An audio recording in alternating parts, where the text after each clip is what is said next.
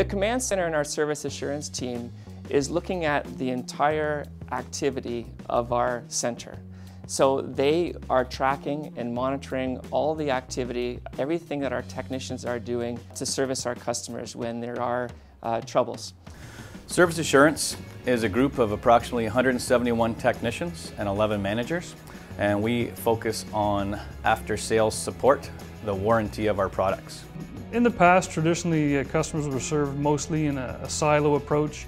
You'd call one area for your report, then that would be handed off to another area to test it, and then that would be handed to another area to troubleshoot it, and then possibly to another area to actually get it fixed.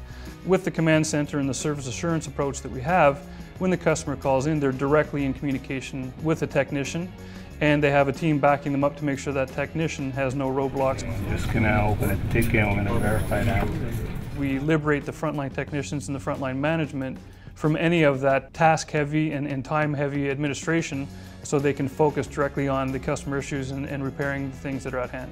We've taken a bunch of different functional areas and what we've said is technicians and managers do a phenomenal job on over 80% of the load. 18 to 20% of the time we miss service level and the command center allows us to meet service level into the mid 90s. The Command Center contributes to the, the Allstream Service Guarantee by making sure that there's continuity of support and coverage throughout our shift schedule. We're making sure that we are answering the phones on time. We are responding with customer updates on the time when the, our customers are requesting it. There are customer issues that are so complex that one technician may not have the ability to solve it themselves. We have great support from a problem management organization that takes on these individual customer issues and manages them as a project. We work with third-party vendors.